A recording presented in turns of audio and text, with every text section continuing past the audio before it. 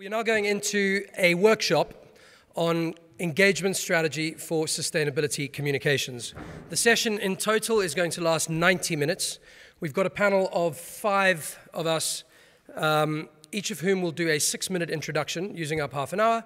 We will then go into workshops for 40 minutes, um, five different workshops around the room, and then we'll bring it back for a closing of 15 to 20 minutes at the end. Um, so it's a great pleasure to, uh, to welcome you to this workshop, and I'll just very briefly introduce uh, the panel. On the right, we have Sarah Atkinson, who is the VP of Communications at CA Technologies, and she's going to be doing a workshop on the internal focus, so your employees as your brand advocates. Over here on my right is Jukka Ahonen, who's the Senior Director and Head of Communications at the Nordic Investment Bank, and his workshop is going to be on sharing your long-term value creation journey. Um, next to him is Andrea Stoven, who's the Director of Global Sustainability Communications at AstraZeneca.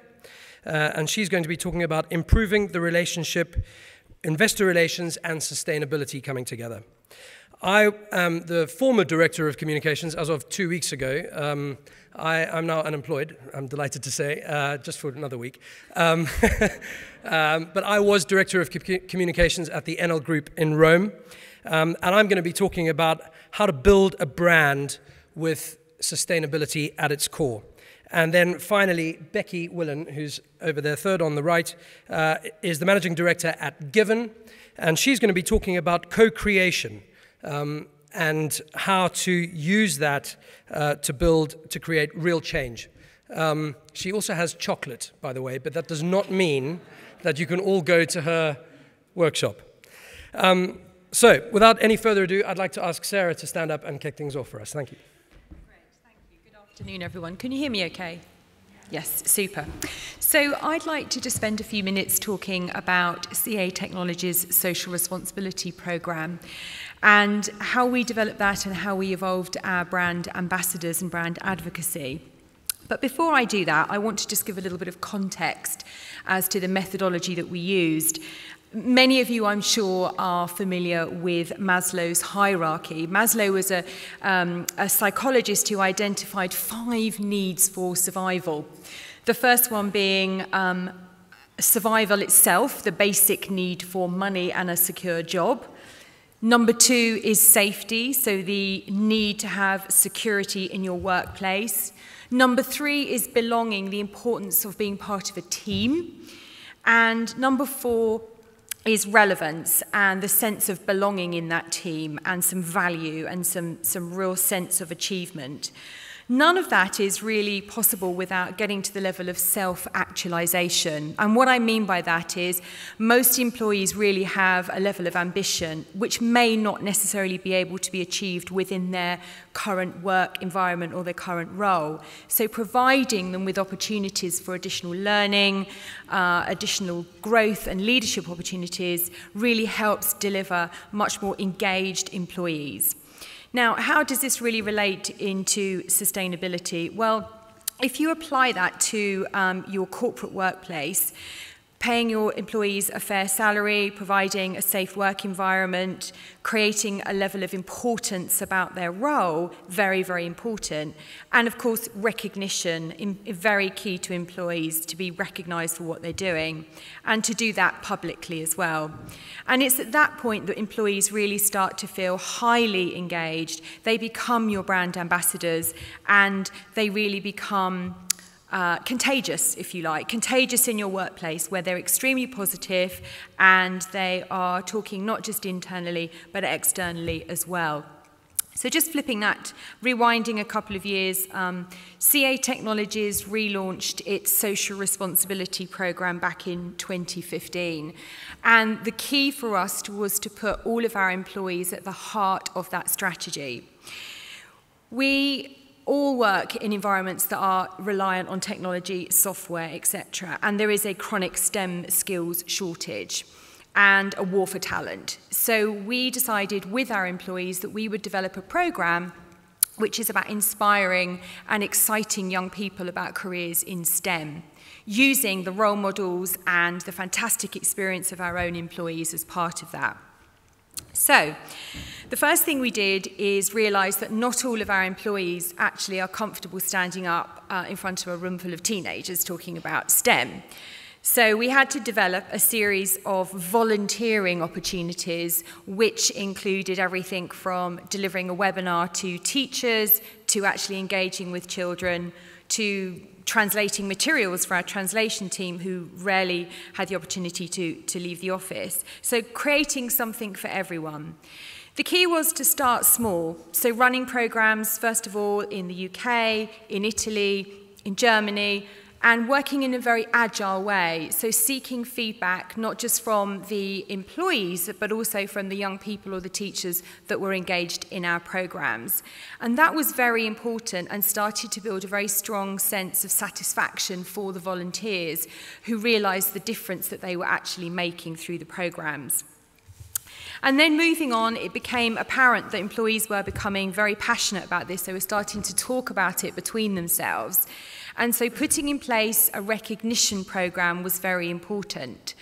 So we developed um, a very uh, simple idea of recognizing employees on a quarterly basis by actually giving them a very small Lego character which we had made in their image. So if you had blonde hair, you had a little character with blonde hair. If you had a beard, you had a, a little Lego man with a beard. And this was presented to the employees um, publicly and they were recognized and rewarded at um, town hall meetings. Now, what this did is it created, again, more conversation in the business. Employees were wandering around the office, seeing someone's Lego character and asking them, what did it mean? People were very proud to talk about it. And then we realized that we could then take this externally. So we began to develop um, a platform, a narrative both through our corporate communications team, but also empowering the employees to talk about their experiences of volunteering for our Create Tomorrow program. And we needed to give them guidelines. Not everyone felt happy doing this, so lots of support for them, but also some guidelines on what they could share and what they couldn't share, particularly working with young people. And this became very, very powerful. Since we've launched the program, um, our Create Tomorrow as a platform now uh, trends typically um, in the top three messages that people find out about our company when they're searching. So it's given us a great platform.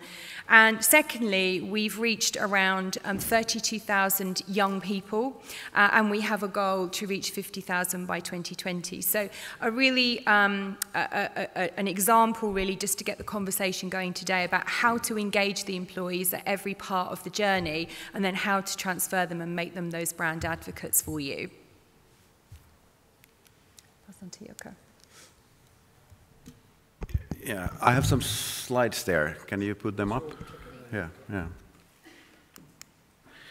Okay, actually, I was looking at the, um, the heading of this uh, summit. It's Sustainability Reporting and Communications Summit. And um, so far, actually, there's been lots of uh, focus on this reporting part. So I think I will focus more on, on the communications part. Because it's important to remember that actually the, um, the goal of many co communication functions is actually to tell the long-term uh, value creation story so that the, um, the stakeholders also understand it. In order to do that, I think you have to ask some questions, um, and um, these are the things I thought I will discuss in the workshop. The first question is, what does sustainability mean to your target groups? The second question, how to relate to different uh, sustainability uh, frameworks. And then finally, how to communicate your uh, long-term value. Just to say a few words about the Nordic Investment Bank. We are an international financial institution of the Nordic and the Baltic countries. And basically, our mission is to finance projects that improve uh, productivity and benefit the environment. This means that basically we were established for sustainability. You can also say what we are doing in terms of UN sustainability goals. You can choose the language, but basically we were established by eight member countries uh, to finance uh, sustainable uh, projects. That's why we have actually had our own framework for sustainability uh, analysis for a very long time. Our, the projects that we are financing um, I think we did the first environmental analysis in 1994. And since that, we have been screening all, all our, our projects. And then we have also our own transparency regime. And the key point of this uh, transparency uh, uh, regime is that we actually publish all the loans uh, in real time that we are uh, granting. So everyone can go to the website and see that this is the loan deal that they have made, and there's also an exp explanation about uh, a sustainability summary of that, of that loan. I would say that there was a lot of talk about real-time transparency and real, real-time sustainability reporting. I would argue that the fact that we publish these loans uh, in real time is, is a really big asset. Then you can ask that what does sustainability mean to your target groups? And I think you have to ask this question, otherwise it's very difficult to formulate uh, the messages. We have done that um, in a way from our owners, which are the member countries. We get that kind of directly because we are integrated. It's the governments who actually say what we should do, the Nordic and the Baltic governments. And they basically say that do good, be sustainable. And what is our reporting? Our reporting is to them uh, just to show that we are doing actually what they want us to do, and then what do we get back is the political uh, support. Lending customers of course, we ask in our stakeholder surveys that what is it that you want from us? And okay, they want competitive loans and they want to know about the offering. And to be actually honest, just a few years ago in these surveys, you, you found that uh, many of those saw that the reporting as such is some kind of a burden. And there you have seen, there has been a big change during the last, last few years. And now there are even companies who want to put on the wall a certificate that they have got the financing from us. So there is a clear change. But I would say that the biggest change during the last years has been among the investors, so those who are buying our bonds. And, but also there you see that most investors actually, what do they want? They want stability, they want to sleep well. But then the sustainable financing has of course become a very big, big, big issue. We had talked about the green bonds, um, and um, uh, then I would say that basically when we started this business with environmental lending, there were no green bonds. So the focus on sustainability, basically, what started with our owners is now getting more popular among the investors, uh, uh, uh customers, and now basically the key driver is the investor. Uh, just an example is the green bonds. Uh, we are the biggest issuer of green bonds in the Nordics, and um, basically, it's a very simple idea. What is a green bond? The main innovation and the idea of the green bond is actually the dedicated uh, use of proceeds, which creates the need uh, for, for information. That also, of course, leads to the question that how to relate to these different sustainability frameworks, because investors are asking, for that. I mean, I said that we started our analysis, you know, in the 90s, this environmental and sustainability analysis. But it's, of course, our uh, analysis. And investors, of course, want to be able to compare institutions. And that's, what, of course, we also have to relate to these different, um, dif different um, uh, frameworks.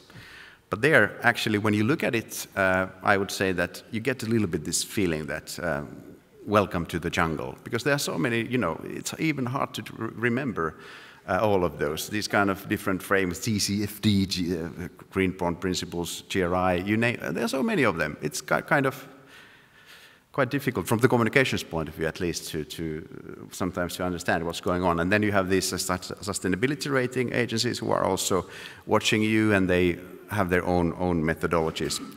But of course, we need to also um, align with these uh, international recognized frameworks. We cannot only rely on our own framework. Uh, so we do the environmental bond report, we do the financial report, we do the activity report according to GDR, GRI. So we do many things. But this is the next slide is the one that I like most. There's a risk with all this reporting. And I think from the communication point of view, there's a risk that you are reporting yourself to death.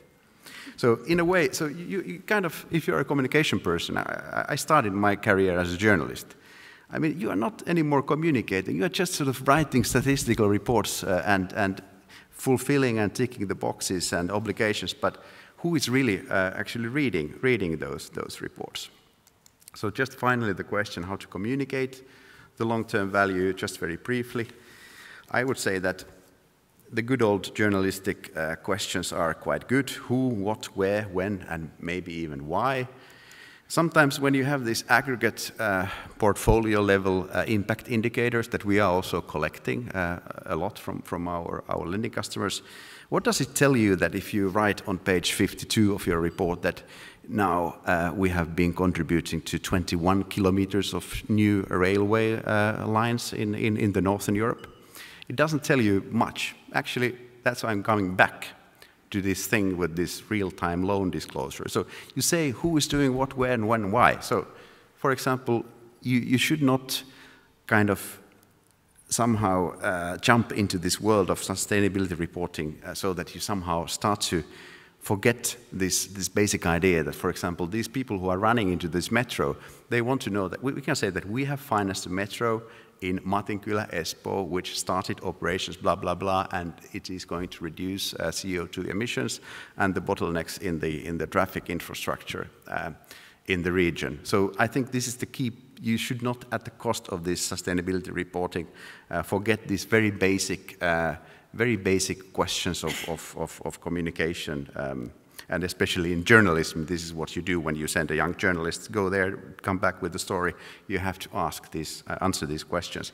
And then the good old storytelling also that uh, there's so much competition for in, uh, your time. I mean, half of you are watching your, your, your mobile phones because you find it's more interesting than to listen to me. So, uh, you know, I'm competing with you. And that's why, actually, if you want that someone is at least for a moment uh, listening to you, you have to visualize, you have to sim simplify, and you have to give the content. So these are the questions that I want to discuss in the workshop. Thank you, Andrea. The floor is yours. Thanks, Jukka.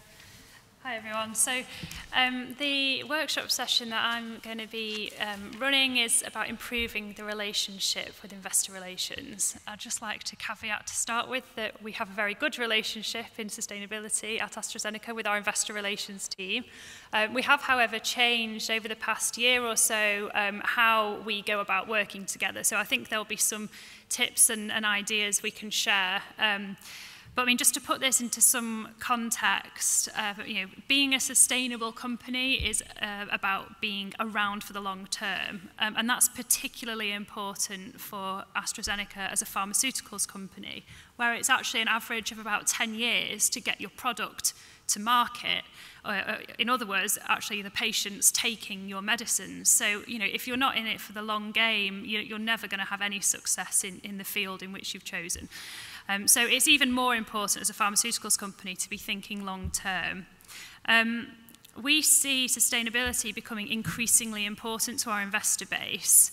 Um, so our IR team are getting week on week increases in direct questions to them about ESG matters. Um, they're also finding those questions to become more and more specific, detailed and educated. So we've really had to up our game a little bit between the two, sustainability and the, and the IR group, um, to make sure we're meeting the needs of this important stakeholder group. And it, even, um, you know, like recently we've had the letters from BlackRock and Vanguard, which are two of our biggest holders. Um, which have actually sent letters to the Fortune 500 CEOs pushing for more focus on sustainability matters. So this is really becoming uh, core to our investor base, not just a, a kind of, you know, they're doing nice things. Um, So I think some, there's some broad similarities between all stakeholder groups which we have to communicate with. Um, and as, as Yuka was pointing out, you know, it comes down to stories for most of these groups at the end of the day. Um, but there's also some differences. And with the investor audience, we find there are some specific differences with which we need to pay particular attention to. Because what they want is confidence. They want to see clear progression against clear targets within a clear time frame, whether that's quarter on quarter or annually or however you map that. And you know, the more kind of formulaic this is, it's easier for them to see that clear progression and it's easier for them to also then compare between organisations. If we can keep these specific needs in mind, it much better um, uh, and much more smoothly works with the IR team because we're making sure that we're meeting the needs of their constituents um, and not clashing into each other um, the whole time. I think another important aspect to focus on as well is that the aspect of, of this need for confidence from this group is also the, the attitude to risk. So where we as an organisation are now starting to push more into a, a more and more innovative space from a sustainability perspective, um, it sometimes feels like we're having a slightly different conversation with the investor community because they're focused heavily still on avoidance of risk. Um, so it's, it's starting to um, try and sort of gently move that conversation along so that we're also addressing concerns about business risk, but also moving them into a direction where they can see the value of innovation in sustainability areas as well. Um, so hopefully we can expand on this a little bit more on the table discussions. Great, thanks very much, Andrea. That was actually a brilliant introduction to. Oh, there we go. Should have been. No. Can we have my presentation, or do we want to go first? Do we want to switch? We'll switch. Thank you. Thank you. Thanks, Ryan. So just and tell you a little bit about Given because I'm sure um, lots of you haven't heard of our business, but um, we're a brand purpose agency. So we're a team of 25 sustainability strategists, brand marketing experts and innovation specialists.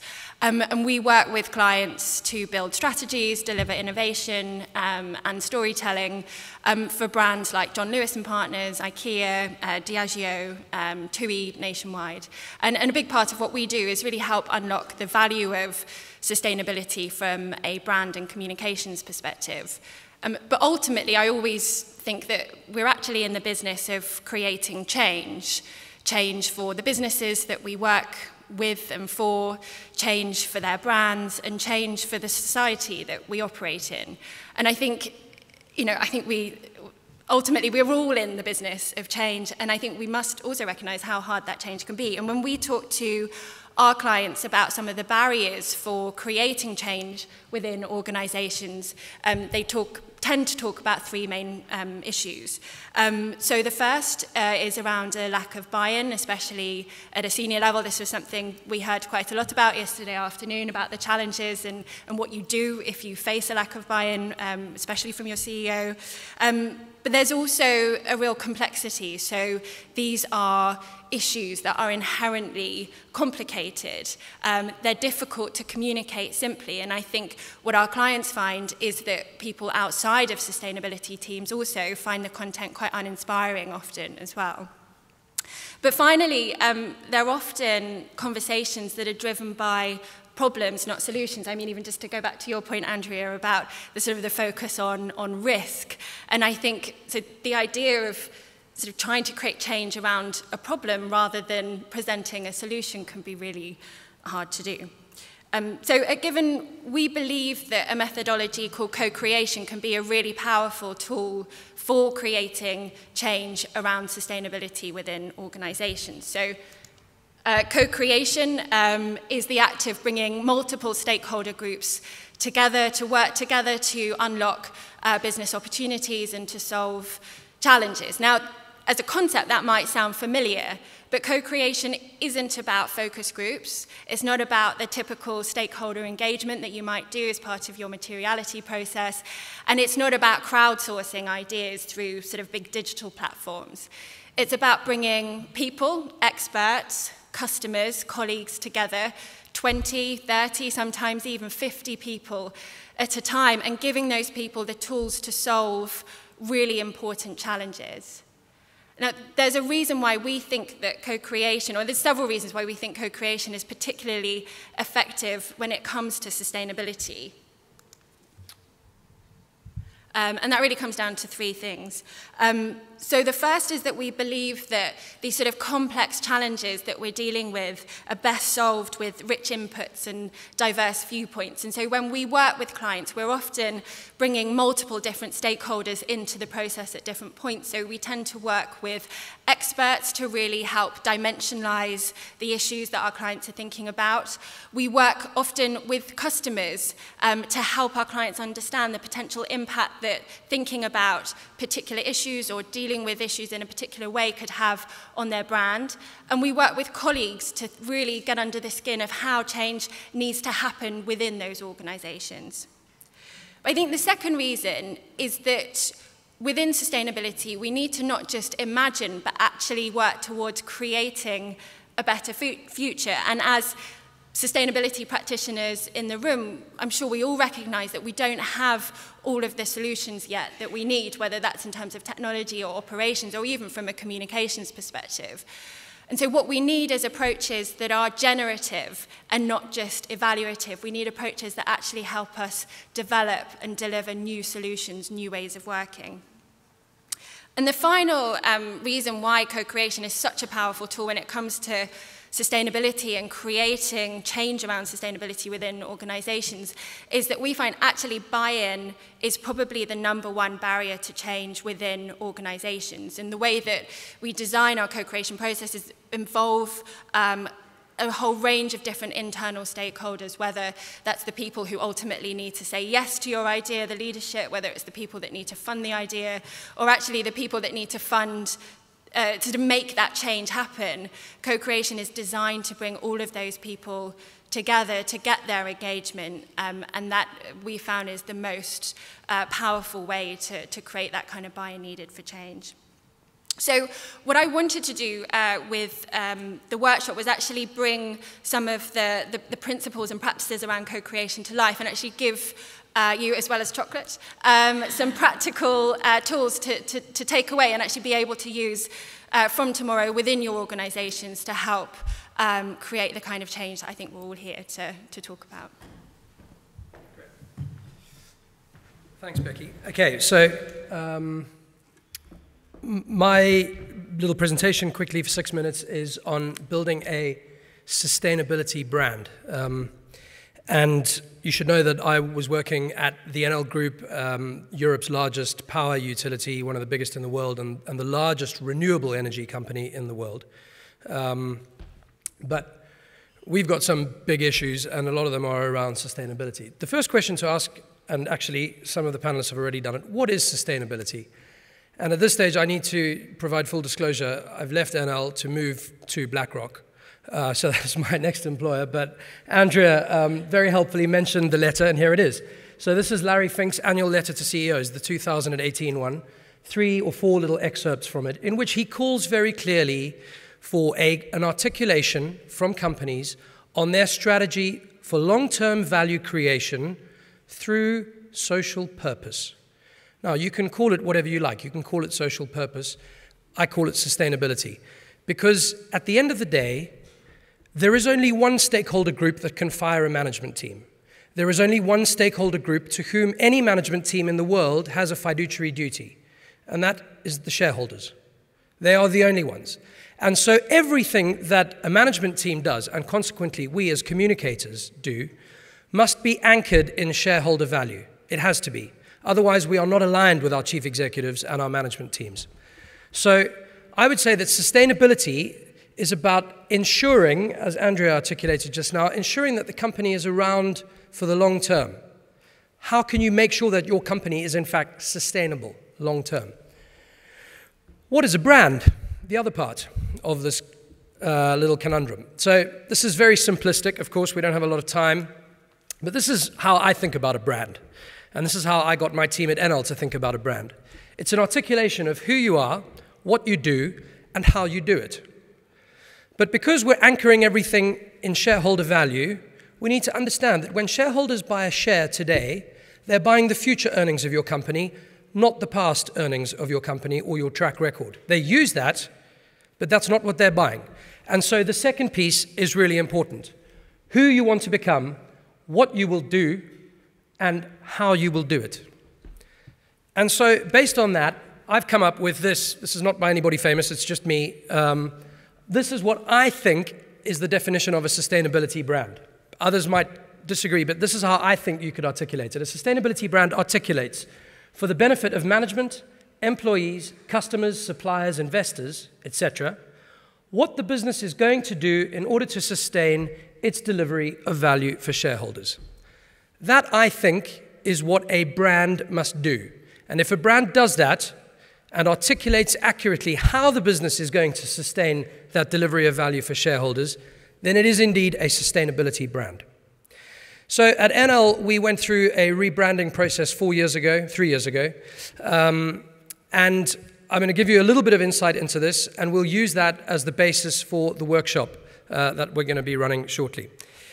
So we started with who we are, who we are today, and this was 2015. And we, this gigantic business, 90 gigawatts of installed capacity, we could power the United Kingdom three and a half times just by ourselves. We had 2.1 million kilometers of grid network. You could go around the world 57 times with our distribution network. We, did, we delivered light every day to half a billion people around the world. The scale of this business was huge, and we thought that that was the power of Enel. But in order to make that power relevant in the future, in a world in which everything is interconnected, we recognized that we needed to open it up. And so we developed what we called our Open Power Sustainability Strategy. And Open Power says that we will open up the power that we have and make it available to everybody such that we're able to benefit in a co creative type of way from the input of all. Because, exactly as Becky said, complex problems require very rich input from a diverse group of people in order to resolve them. And we recognize that we can't resolve the world's greatest challenges on our own, we need the help of others. So, how did we make this concrete. We developed a vision. Our vision is to open power to help solve some of the world's biggest challenges. Very lofty, very ambitious, but it's actually true. By electrifying communities in Africa, for example, by the way, there are 1.2 billion people in the world without access to electricity, 700 million of them in Africa. Hundreds of millions of people continue to die every year in Africa just from malaria, very simple malaria. And one of the ingredients for resolving that problem is electrification of communities. We can be part of the solution, not the entire solution, but we can, in fact, deliver this vision. And then we developed a mission. And the mission is a very concrete roadmap for who we want to become, what we will do in the future. Open energy to more people, open energy to new technologies, open up new ways of managing energy for people open up energy to new uses, and open up to more partnerships. And that is a roadmap for our management team, and it is an indicator to our investors, to our customers, to our suppliers, to our employees as to where we're taking our business and why they need to be part of it. And it is a very helpful decision making tool for our, uh, for our management team. And this is how we said we were going to bring open power to life. Here are the Sustainable Development Goals that we said we would subscribe to, and as you can see, they're all consistent with our open power vision and mission. And we rolled it out around the world, culminating in uh, ringing the, the, opening bell at the New York Stock Exchange once we had rolled out the new brand across the entire uh, 40 countries of the Enel Group. Um, we then, of course, need to engage with multiple stakeholder groups in order to tell that story and all of you are very aware with who the stakeholder groups are that all of us need to be engaging with. Here's some of the press uh, engagement, some of the um, uh, civil society engagement that we have, um, and some of the uh, activations of, of this brand, Formula E, um, which is the electric car racing series, uh, which we are the official power partner of and the official smart charging partner. So, talking about the new technologies that we're bringing to life. We again went back to the New York Stock Exchange to ring the closing bell this time because we delivered the first ever carbon neutral event in the history of motorsport, which was the Formula E race in New York City, where we offset all the carbon emissions from all of the logistics, all of the flights, everything for everybody to get there. And so we had, for the first time in history, um, a carbon neutral event, and the New York Stock Exchange recognized that by letting us come and ring the bell. Uh, we partnered with Motor E, um, so MotoGP, again, electric mobility, very important. Here's some of the recognition that we've had for this sustainability brand that we've built and the engagement that we've had. Um, and again, a little bit more, one that we're particularly proud of Fortune magazine have put us three times in the last four years in their list of 50 companies that can change the world. Um, we were Brand Finance recognized us as the strongest brand in the global utility sector. Forbes magazine, 19th best company in the world to work for. I'm not sure where that came from, but anyway, they, uh, Harvard Business School wrote a case study about us. Um, so lots of, lots of fantastic recognition for us. We're going to be talking a little bit about that um, and how to do that in your businesses during my workshop. So thanks very much. Thank you very much to the panelists for their introductions. We're now going to split up into our workshop groups. And broadly, very roughly, we're going to split the room into five, the four corners and the middle. So there's four tables in the middle, and I guess you guys should all congregate around the middle there. Um, and Becky, I think you're going to go into the middle. Is that right? your... going to take uh, the second table and the third table. Okay, with all your chocolate. Uh, on uh, how to create amazing change okay. co-creation. Then we're going to go into yeah. the four corners, and the rest of us are going to go into the four corners. So what did we say? Sarah, top left, mm -hmm. uh, and then Andrea, Andrea, you are there. I'm going to that corner, and Jukka is going to be down here.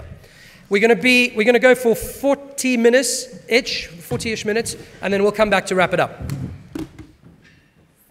didn't have any chocolates, but I was delighted with the level of engagement actually that um, my fantastic table uh, showed, so thank you. Um, so just to recap, so we're talking about um, engaging um, employees as advocates and all of the associated uh, let's say, challenges and opportunities that come with that. So um, one of the things that we talked about was the importance, obviously, of engaging leadership at the very beginning of any um, social responsibility program and how you can do that. Um, a few things that came through there, some great ideas and suggestions. Um, I think if you are able to demonstrate a connection between um, engaged employees, whether you are using your employees in your volunteering and your social responsibility programs, if somehow you can capture and measure that level of engagement, many of you I'm sure will have employee opinion surveys, um, employee retention, um, uh, fewer sick days, just a, a whole level of sort of happiness and, and, and security in roles, you can often make a direct correlation to customer satisfaction. So if you're using tools like Net Promoter Score, you can often correlate that directly back to the bottom line. And there are several um, McKinsey surveys out there which clearly demonstrate that, um, that there, is, there is uh, uh, very good um, value in engaging um, employees right through um, to driving bottom line, if indeed you are in a commercial world, as I am. Um, second thing is um, actually getting and engaging the employees um, directly and we had a lot of conversation there about it's not just awareness. Uh, we have to make it very clear to the employee how they can get engaged why they should get engaged. So making that think feel and do connection. So not just what do they want to know but what's the emotional connection that we want to try and create. And once you get a few employees involved in doing some of these really fantastic volunteering opportunities um, they often really enjoy it and that can become um, infectious. Um, communication obviously is key to make sure that your employees know what's going on, but don't just wait until annual report time. Don't just do it on a quarterly basis. Make sure that you're talking about your um, programs, your social responsibility initiatives, um, at every level, all of the channels, all of the tools, chief exec right down to people on the shop floor need to have a voice and need to be communicating about this so that it's really seen as integrated into your overall brand. Um, and then the other thing we talked about was um, keep it local. So if you do have a corporate social responsibility program, sometimes the word corporate doesn't work with employees. They tend to think it's something over there. It's not for me. Um, so if you are able to uh, come up with a name or, or, or talk about it in language that, that resonates more with your employees and obviously all your stakeholders, that's great. And um, if you can um, sort of automate as much as you can in terms of measurement to free up your own time and on the local um, On the local side, if you do have frameworks that you create centrally, which will save you a lot of time, ethics, codes of conduct, but then empower, whether it's business units or local offices, to work within those frameworks, I think you'll see a lot more engagement if they have some influence on the activity or the program that they can deliver locally.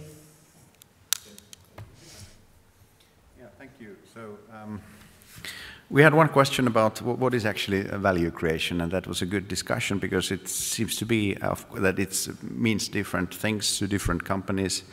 Some were talking about financial value creation, some were talking about non-financial value creation, and it also means uh, different things to different uh, stakeholders. Then we moved to this discussion about uh, the stakeholders, and, and it was very clear that actually you need to tailor the messages according to your, your stakeholders and you have to simplify and you have to know what's actually sort of interesting and important uh, for them. And it's kind of a problem maybe that some of these um, uh, reports that uh, we are all producing actually as such they do not uh, have this, this, this element which led to the conclusion that one should not sort of if you have a teams who are both in charge of um, producing these reports and communicating them. So you should not get sort of exhausted when you have done the, the report ready and then it's just somewhere. Uh, but you should also have resources that you have people who are really thinking about, especially communications people who are thinking about how to communicate uh, those, those, uh, those outcomes. So that, that was an important, um, important uh, point. And then there was also some uh, questions about you have to understand these different stakeholders and know how to communicate them, but also um, if you then organize some events, for example, that they would be in the same room and discuss with each other, then it was mentioned that it's very important that in that kind of um, events that you are extremely uh, transparent so that, that everything that has been said there is, is publicly available. Otherwise, you could get some problems. So these were the, uh, the findings. So we shared um, amongst our group how everyone works currently between investor relations and uh, sustainability. Um, and then there were also a few people who were um, wanting to learn from a, a kind of client advisory perspective as well, um, or actually that were the investors from private organisations. So it was a really interesting mix.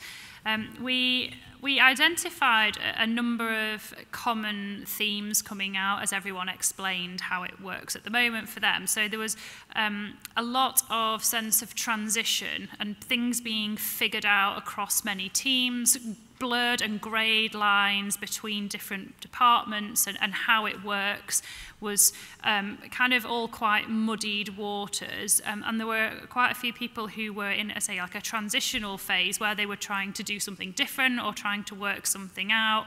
Um, so that was really interesting to hear that, and it seemed to be over the sort of last couple of years time frame for, for most people that this was happening. So it was interesting to see that trend.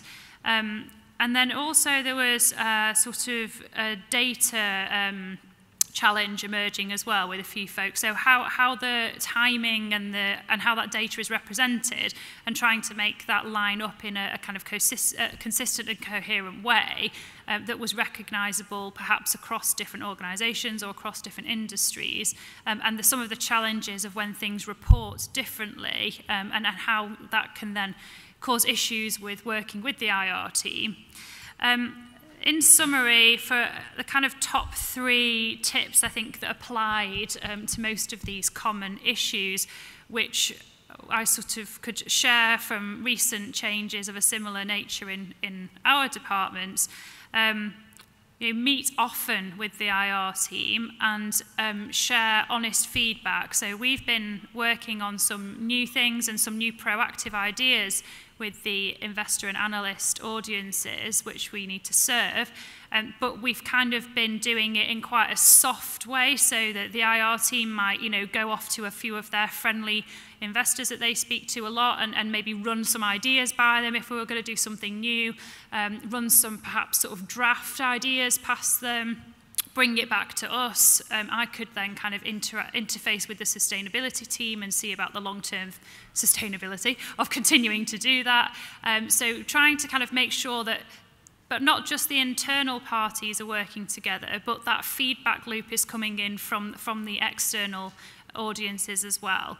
Um, Something else that has proved really useful during a, a transitional point where all the lines are quite blurred and the departmental areas are grey is by having a single point of contact. And this might only be a temporary need, um, but by having one person in the IR team and one person in the sustainability team who can interface with each other um, and go off to the you know relevant subject matter experts from the sustainability side and translate what that kind of means back into an IR friendly format. Um, and then in the same note, the IR guys being as having a single point of contact to go off to their constituents and bring that view back. And then you having the, that sort of single point of contact between the two of you during this phase where it's all a little bit muddy waters has been really, really helpful to keep things moving and, and keep things happening. Um, and I think just highlighting the point of being able to translate as well. Um, I think having a sort of, if there is a, a communications person or a corporate affairs person or someone with a similar background who's able to take sometimes really quite complex concepts and make that friendly for you know what does an investor want out of this? Why are they asking us this question? Why do they want to know this level of detail about this data? Someone who's able to translate that and also put it into the business context. They want to see how this fits into your business strategy and why you're doing it. Um, and you know the, the ROI for any investment and try and loop all that back all the time. So if there's somebody who can help to do that, that also improves that working relationship and makes the IR team's job a lot easier. So that was summary from us. Yeah, sure. So um, we structured our session around three of the golden rules of co-creation. Um, so the first um, is that relationships are the source of results. So we find that if we want to get to great ideas and great solutions, you need collaboration.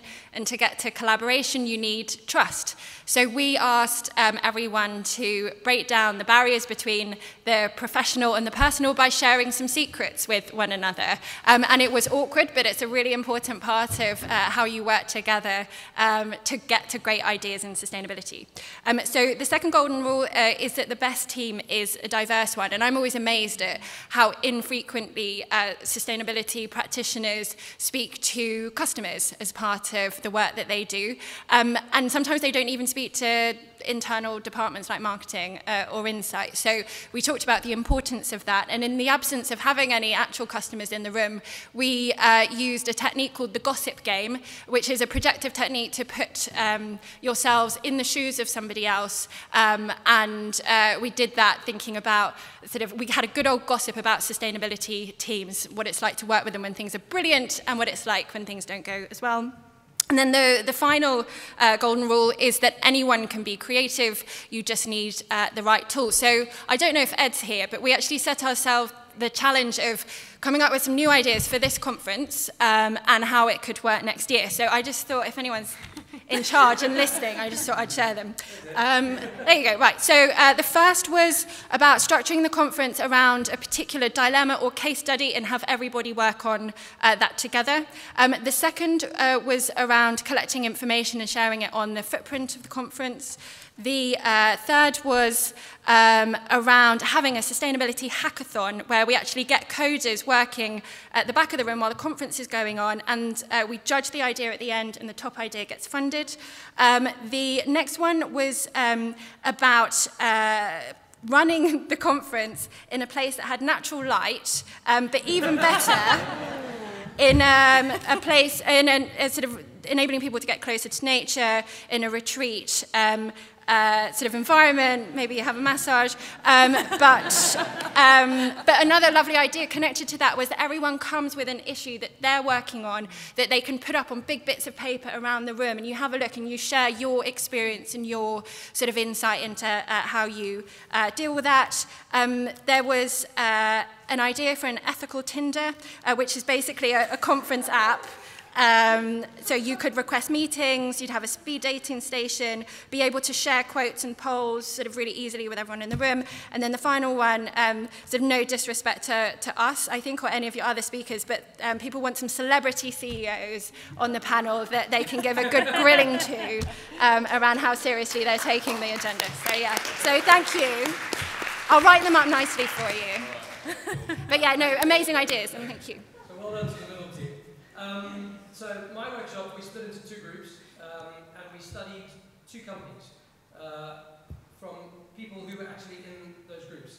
The people, the rest of the people in the groups clearly had very little or even no knowledge of that industry. Um, and the job of the team was to build in 30 minutes. And by the way, this is a process that takes a year. So in 30 minutes, they needed to come up with the starting point for what might a sustainability brand look like for the two companies that were chosen in each group. So I've asked Neil and Catherine to give you 60 seconds of feedback on that. Can you hear me? Yeah, well, great. Tetra Pak, really interesting. I didn't know that much about Tetra Pak. Um, apparently, they uh, produce equipment to process food and make it um, uh, transportable, and then produce the packaging solutions that allow that food to be transported. Their um, their mission is making food safe and available everywhere, which is which is a great mission. Um, but their big uh, challenge at the moment is is packaging and how they make that uh, more environmentally friendly um, and, uh, and deal with the issue, the big issue of plastics, which is obviously um, heavy, uh, high in people's consciousness at the moment. So um, we, we established that the, uh, the packaging that they currently use can be recycled, but it can't be used by Tetra Pak again because the fibres aren't long enough and it's been recycled and therefore for various reasons they can't make the same packages twice. But it can be recycled. Um, and uh, that was really interesting. And then we had a, an interesting conversation around is it, isn't it about the food? Uh, you don't have an issue with the food. Isn't it about the availability of food and the location of the food? And can we do anything to help help with that? But um, the challenges we, we came up with. Um, understanding the customer needs and the market you're operating in and how that's going to develop. Can you get your crystal ball out and understand what the future looks like? You know, you've got lots of different options um, understanding the environment you're working in, um, and understanding what your stakeholders really care about. Do they, do they really care about the packaging or not? Uh, clearly they do. And, and the point that's been made is, is if, if, you're going to make change, you need that high-end CEO support. So um, we talked about um, what, what could we do to the mission statement, because on its own it doesn't mention packaging. So we could, we could add in sustainably making food and safe available everywhere, uh, which, is, which is a bit of a get out. But um, we, we, we, we talked about, it's about the messaging of the how as well. So um, could you add some suffixes within or outside the mission statement that talk about by, by minimizing the impact that our packaging has on the environment, which would take you down a route of developing solutions around that, or by developing new packaging solutions that would signal the fact that you're aware of the issue and you're going to work with partners to try and understand how you fix that issue. Great. Sorry, can I just also just say the two people who are speaking and giving the feedback do not come from the company, which is the case study here. Um, the, the person from the company is, is another person within the group. So that just gives you an idea about, I guess, the power of co creation when you're sitting down together to start studying how to look through the looking glass of the future and discover, you know, and start to put the pieces together of what the brand might look like in the future. Catherine, can you tell us about? Um, the second one. Yes, we were looking at um, Arcadis, uh, who are a consultancy company. So um, they work on major construction products, actually, uh, projects uh, during the, the, the design phase. Um, actually getting major uh, infrastructure projects which mitigate against, uh, well, protect against climate change. So climate change is a little bit of an opportunity for them, but also, you know, long term it'll kill us all. So, um, what they bring to the project at the outset is their expertise and their experience. Um, And one of the main challenges is digitalization. So that expertise and experience can be digitized and then they don't own it anymore. And then what do they, what do they have to offer? Um, so some of the ideas that we come up with are how this, you know, how they can stay in business for the next 20, 30 years and continue to, to create value is to, to own that digitization. Um, so that they're the ones capturing the experience and, and their expertise, but also every time that they do a project, that can feed back into you know, using machine learning or whatever uh, whatever kind of tools they want to use then. So they have this kind of circular idea of their expertise and, and experience continually developing and growing with every new project that they do. Um, we also looked at, you know, they're, they're involved very much at the outset of a project, but obviously, you know, things are changing. These big capital projects are going to be funded by governments. They're going to be looking for more um, sort of sustainable outcomes. And then you're looking towards the end of the project life, perhaps, and using material, designing for deconstruction, so using materials which can be recaptured and reused at the end of the project. So we've got this sort of circular economy principles. And then their assets are their people. Obviously, they're the ones with, uh, with you know, uh, 26,000, was it? It was an enormous number of people. I didn't realize how big they were. Um, and making sure that they're ready to adapt. They're obviously very intelligent people, all these engineers, but continually developing them and, and getting them to learn new things and change as, as that environment in which they work changes to make sure that they remain employed and employable and continue to deliver project uh, value for their, for their clients long term. So um, I don't think we come up with a complete strategy yet, but we did start playing with this idea of circles. You've got the circular economy, the sort of uh, you know, experience and experience um, and expertise or learning from each project and also this continual development of the people. So I think we've probably got a strategy in the making there. So. Great. Good. Thank you very much. Well done to both of you. Um, I think the point that I would just like to make from this is the opportunity of building a brand, particularly around sustainability, and if you make it about shareholder value, is for you as a communications professional to really get underneath the skin of the business and, and have a really meaningful impact in driving the business forward alongside the CEO. Um, and it's something which, as communicators, I think in the past, traditionally, we've not had much opportunity to do. So um, I think this is a, it's a really exciting moment uh, for us and, and, a great challenge. Anyway, thank you very much to our panelists. Um, thanks very much to all of you for participating in the workshops. And it is coffee break, so time for some more caffeine.